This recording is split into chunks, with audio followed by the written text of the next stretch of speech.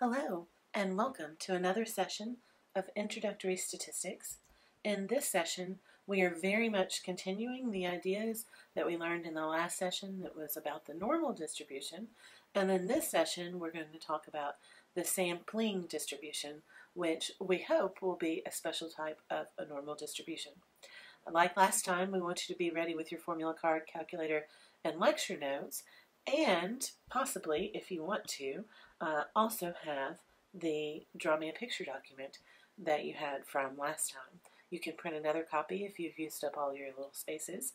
Uh, this time, though, I want you to mark out everywhere it says sigma and write in sigma divided by the square root of n. So um, you'll have that sigma symbol, and then you'll do divided by, and then you can do the square root symbol, um, and then lowercase n for our sample size. So really the theme of this chapter is instead of sigma, use sigma divided by the square root of n. And the division symbol and the square root symbol and n are by far the thing that most students will forget the most. Uh, so if you miss problems on the Chapter 7 quiz, my recommendation uh, is to go back and look at that quiz and see if there's anywhere where you maybe forgot to divide by the square root of n. Uh, and speaking of quizzes, if your Chapter 6 quiz, if your normal distribution quiz, was not the score that you want on your midterm or final exam or the final score that you want for the course, then I would encourage you before even watching this video to go back to the chapter 6 sampling dist uh, normal distribution video and rewatch that video working the problems with me as you go um, as really I would do in every video is to, to pause and work the problems with me as we go. And then going back to the chapter 6 quiz and trying to understand every single problem that you missed being sure to message me if there are any problems that you can't understand why you missed the problem. Uh, and I hope that you can get that done before the midterm exam to improve your score on the midterm exam. And really, preparation for the midterm exam, I would do that for every chapter. Um, go back over the quizzes and make sure you completely understand any missed questions on the quizzes. That's great preparation for the midterm. That's great preparation for the final exam, too. So I would definitely recommend that. Um, and then coming into chapter 7, if you have a firm grasp on chapter 6, your chapter 7, this sampling distribution chapter, is going to be much easier. If you do not understand normal distributions, it's going to be a, a real struggle for understanding sampling distributions because we're going to use so many of the same concepts, ideas, formulas, and so forth. Okay, so let's talk about what a sampling distribution is. That's the name of this chapter. Uh, let's talk about what it is and what it's not. To understand what it is, we've got to understand that there are actually three different distributions that we care about. The population distribution is all of everything. Remember, we talked about populations all the way back in chapter 1, and then samples were small subsets of the population. So um, here we've extracted our first sample, and it, we're calling it x bar 1, and the mean of this first sample would be x bar, and we'll, we'll say 1 to um, say that it's different from this x bar, because our, our 30 data values, or whatever our m is, here are going to be different from the 30 data values that we have here, and different from the 30 data values that we have here. Um, so this will have a sample, a specific sample mean, and it will have a specific standard deviation, and we can call it S1. Um, the mean and the standard deviation for the population, we use the Greek letter mu and the Greek letter sigma for the population mean and the population standard deviation. And we talked a lot about that in the last normal distribution chapter. Um, so that's for populations, mu and sigma. For samples, x with the bar on top and s. And then for sampling distributions, what the sampling distribution is, is it's the distribution of all possible x bars. So um, if we were to draw out, let's say that we had 30 data values here, if we were to draw out a histogram and put a curve to that histogram, um, we might have like a right skewed distribution here, um, and we would be very likely to have a right skewed distribution there if our whole population was a right skewed distribution, for instance. Uh, so usually the sample will mimic the shape of the sample will mimic the shape of the population. The sample mean will mimic the mean of the population, and the sample standard deviation will mimic the standard deviation of the population. For the sampling distribution, the mean of the sampling distribution works out that it's going to always be exactly the same thing as the mean of the entire population distribution. So we take this sample mean and we put it here, and we take this sample mean and we put it here, and we take this sample mean and we put it here, and they're all of the same size n. And really, we may have thousands of x bars along here because the sampling distribution isn't just a handful of sample means, it is every single possible sample mean that's of a set size. So let's say we have um, a, uh, Austin Peay students. There are 10,000 Austin Peay students. And let's say that our sample size is 30. Um, so if we go and we, we gather 30 random people, um, that's one sample. But if we change just one person in our 30, then that's going to be a different sample of size 30. And if we change another person, a different sample, and another person, a different sample. And then we could change all 30 of the people, and so that would be a different sample. We could probably do that um, a whole bunch of times because uh, whatever 1,000 divided by 30 is would give us how many times we could find 30 completely different people. Um, but even just changing one or two people will be different as well. So I suspect that there are at least millions, if not billions or trillions or quadrillions of samples of size 30 from all 10,000. Uh, we would actually do, I think, 10,000 choose 30. Um, and that would give us an enormous number uh, of different combinations. So you've got a almost an almost infinite amount of X bars here. And it turns out if your sample size is large, and we'll talk about this in a little bit, that we will know that these distribution of sample means, oops, um, the distribution of sample means, we will know it's normal if we've got a, a large, so we'll, have this nice bell-shaped curve. So even if our uh, sample distribution, our data distribution, and even if our population distribution are skewed, right skewed, left skewed, um, not symmetrical, uh, even if that's true, we could still have a normal sampling distribution. So that's really awesome. Oh, one other thing I want to point out is even though the mean is exactly the same as the population mean, the standard deviation of the sampling distribution gets smaller and smaller the larger our m is. So if we have a large sample size, then that's going to make our sampling distribution be narrower. Uh, so an N of 30 would make it pretty narrow. If we made the sample size 100, that would make our distribution even narrower because we are dividing by the square root of n. Uh, and like I said on the first slide, um, this is the big difference between chapters 6 and 7 is that we divide by the square root of n, so you'll see this a lot. For example, on this slide, we see lots of dividing by the square root of n. Um, and so here uh, are the formulas that we have for the sampling distribution. This is straight from the formula card, as you can see here. Uh, and the mean, what this is saying is the mean of all of the x bars because this distribution, the sampling distribution, is the distribution of x bars. That's, that's really what it's, the sampling distribution of sample means is what we call it, uh, but the sample mean we represent by an x bar. So this is the distribution of x bars, and this is saying the mean for the entire distribution of x bars is just mu.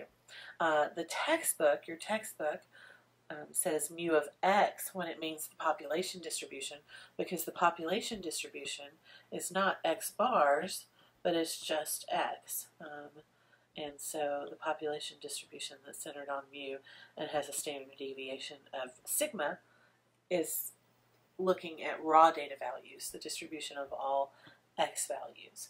Uh, and so here you, you really can just kind of ignore um, the subscript of x in the textbook um, and say that, that this is just means the population mean and the population standard deviation.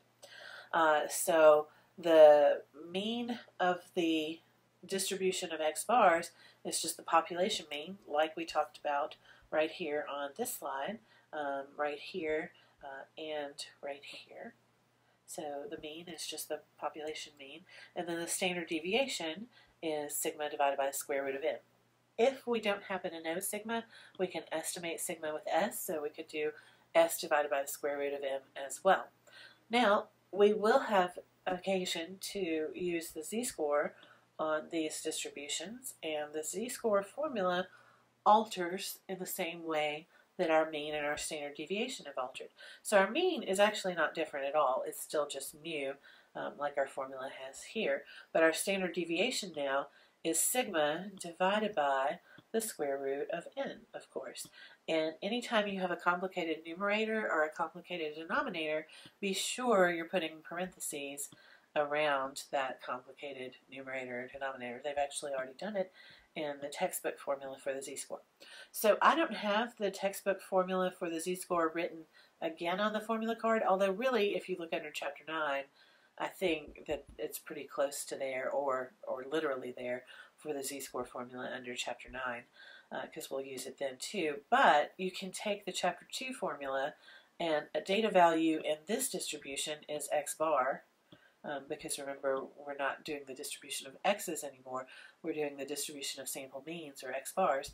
And then of course the mean of all sample means is mu, and the standard deviation of all the sample means is this sigma divided by the square root of n. So when you plug all of that in, when you adapt the chapter 2 formula to be friendly for sampling distributions of sample means, then this is the formula that you get. So you take the sample mean, you subtract the population mean, and you divide it, all of that by sigma over the square root of n.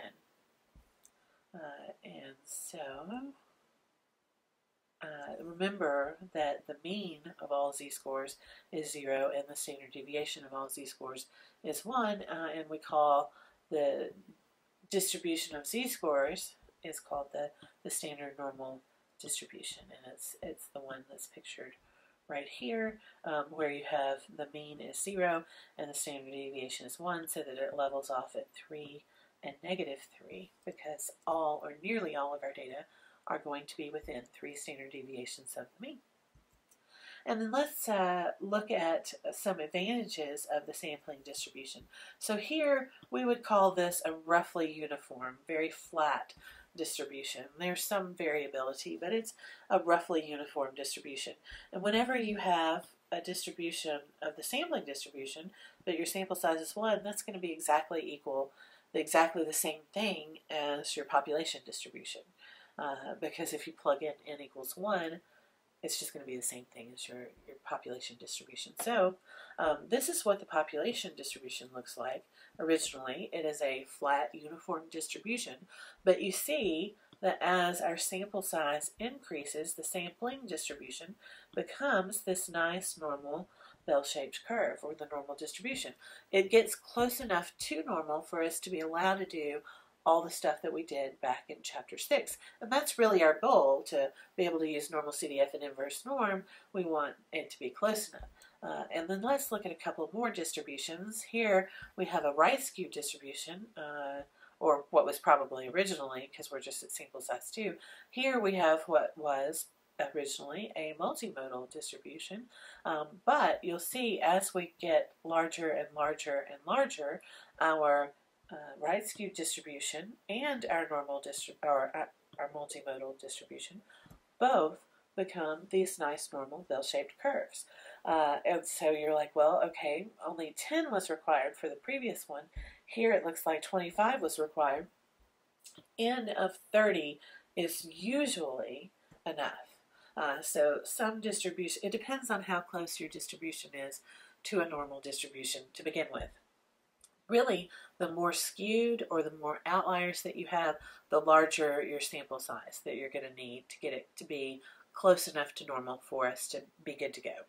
Um, so uh, if you have, you should always look at your data if you can to see if it, what the original data set looked like. Was it extremely skewed? Did it have a lot of outliers? Um, but if not, a sample size of 30 is more than enough to say, yep, we're sure that this is going to be normal. And that's called the central limit theorem. And it's central to all that we're going to do in chapters 8 and 9, which is considered kind of the heart and soul of statistics. So this is a really, really important concept. The central limit theorem telling us that our sampling distributions are going to be normal once we get at least 30 data values or more. And with that in mind, we can go and work some problems like we did last time. We're going to have a three-step process again. First, drawing the curve, and if you've already printed out the document, the Draw Me a Picture document, then you've already gotten that done. The second thing is labeling and shading, and then the third thing is calculate. Uh, don't forget, though, that we have that sigma over the square root of n when we go to calculate. And if you have uh, adjusted your draw me a picture document correctly uh, already, then you will already have replaced sigma with sigma over the square root of n. Um, and this, keep in mind, is the distribution of x bars instead of uh, just the normal population distribution. So these uh, data values won't represent a single data value on our line, but they will represent a mean of a whole bunch of data values, whatever our sample size is, the mean of that many data values. And so let's jump into a couple of examples. Uh, here we have exactly the same scenario as before, except now we're going to be looking at averages of 32 students at a time. So we're going to assume these were not just one classroom, but randomly collected 32 students taken at a time. Uh, so we've got our exam average of 77.5, our standard deviation of 11.5.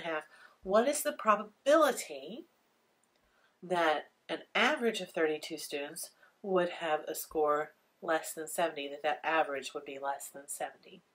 Uh, and so, of course, we're going to want to start with our picture. Um, and on our picture, we would want uh, the mean to be 77 and a half, and we'd want less than 70. But of course, keep in mind this is an X bar of less than 70 um, and not just a normal data value. That's why I've put it over so far, um, is because this is an X bar or a mean.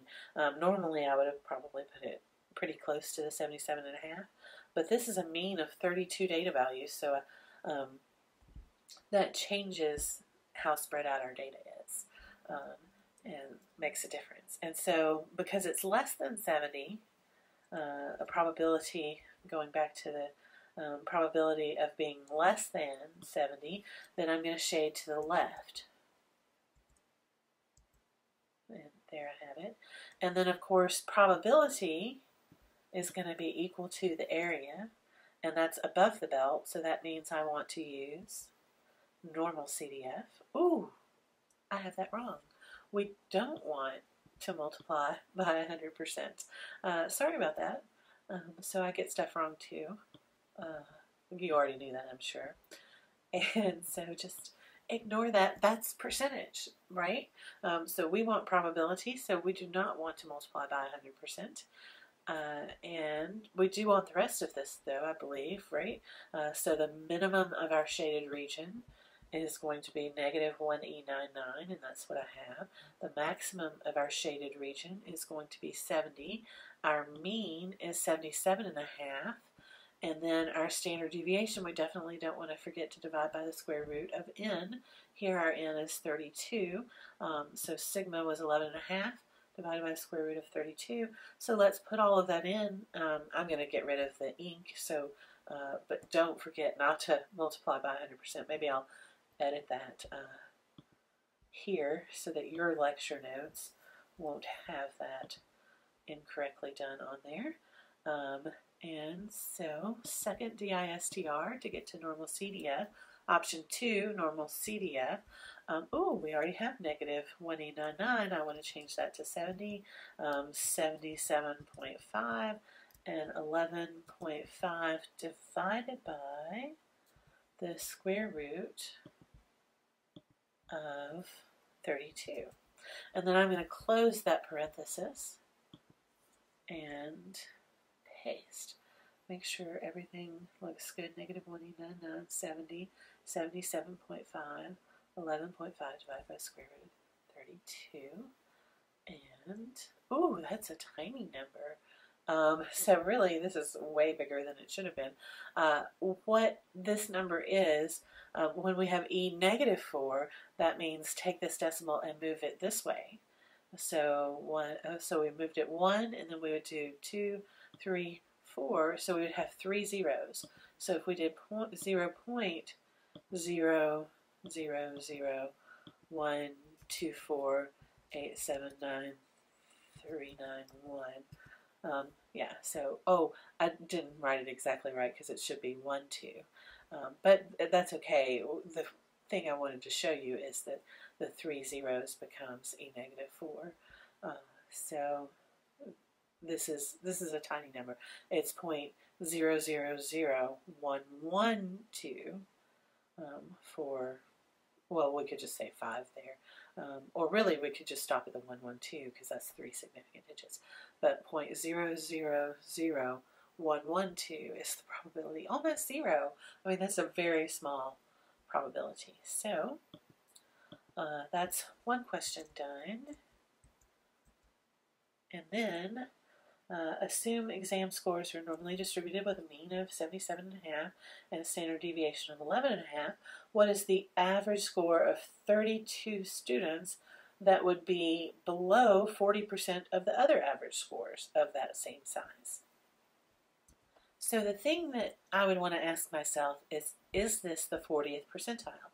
Um, so we're looking at an average score, um, and we want it to be below 40% of other average scores. So um, let's say that this is these are my scores, um, and I'm just going to go ahead and put the score that I'm looking for here, this average score, this X bar that we're looking for. And it says that my score is below 40%. So does that mean the 40% is on this side?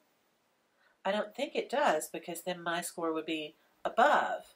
Um, so if the 40% were here, then my score is above that 40%, not below. So really the 40% needs to be on this side because my score is below 40% of, of other average scores. Well, we know we need 100% total, so this on right here should be 60%.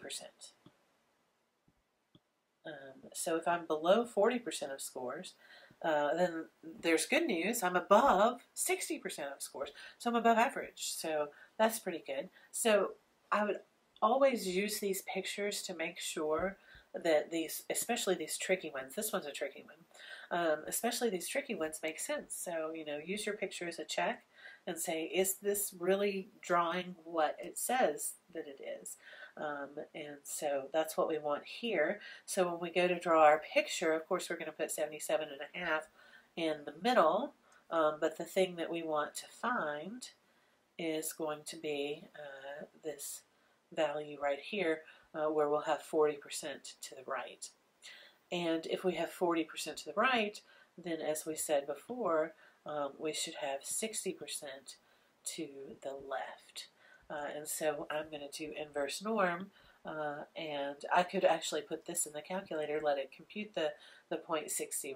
I am able to do that arithmetic on my own, though, even though I kind of suck at arithmetic. I, even though I really suck at arithmetic, I can, I'm able to do this after lots of 40, 48 years of practice. I'm able to do this uh, on my own without the use of a calculator. Most things, though, I do want to use a calculator for. Um, and then 77 and a half is our mean, and our standard deviation is 11 divided by square root of 3. Now, we're using inverse norm here because we want to find the score, the average, the sample mean, for which um, there's uh, it's below 40% of other scores. Uh, so the thing that we're trying to find is something that we would label below the belt, and that's the opposite of normal boxing rule. So inverse norm is why we're using inverse norm here. So let's go and plug all this in and uh, get the answer. So second DISTR option 3 this time, area to the left, I'll just go ahead and plug in 1 minus, um, 0.40. Uh, my mean is 77 and a half, and my standard deviation is 11.5 divided by the square root of 32 and closing that parenthesis. And I'm just going to leave that as left because that's what I think most of you have on your calculator. And then enter. Uh, and that gives me a score of 78.02. Um, So almost 78 exactly. So it's not very far away um, that you from the, the 50th percentile that we get the 60th percentile. And the reason for that is, of course, we're dividing by the square root of 32. So let's just look at if um, this is a good question. If we were asked what's the, the standard deviation of this distribution, it would be 11.5 divided by the square root of 32. And you will be asked these types of questions. You'll be asked what's the mean of the sampling distribution? Well, the mean of the sampling distribution is just 77.5. Um, and that's from this formula that we talked about earlier. It's the same as it's the same as the population mean. But if we're asked the standard deviation of this distribution, then we've got to divide by the square root of n. So I've taken my original sigma and I'm dividing by the square root of my n here um, to get the standard deviation of this distribution. And whoops, I didn't mean to do that. I'm going to hit enter here. And that gives me 2. So my standard deviation is just um, 2.03. Um, so it's just a tiny amount that I have one standard deviation. And remember, one standard deviation on either side of the mean is 68% of your data. So you would say 68% of the sample means would be uh, between 75.5 and 79.5 approximately. It's a little little less and a little more because you've got the 0.03 part. Um, but it's very, very close to 75.5 and 79.5, and you would have 68% of your sample means in that area. So that's that's a huge amount um, to have in that area. And so those are a couple of examples from this sampling distribution section. So uh, hopefully that all makes sense. And as you work on your discussions, as you work on your homework, as you work on your projects and your quizzes, don't forget your formula card is your number one resource. Even though the two formulas in here are simple, it's a nice reminder to say, hey, the mean of x bars is just mu. And hey, the sigma uh, divided by, or the standard deviation of the sampling distribution is this sigma divided by the square root of n, the biggest secret to this chapter. Um, remembering that instead of sigma, our standard deviation is sigma divided by the square root of n. So the formula card reminds you of both those things. And then your calculator will be useful, especially when you go to do the normal CDF and inverse norm types of problems that you'll have. Uh, your lecture notes will hopefully be very helpful, especially as you take notes on top of them. And then your textbook and Newton instruction have some nice examples in them that might be very helpful uh, for you in this chapter. And if all of that fails, you can always message me. So I wish you the very best of luck on this chapter. Good luck.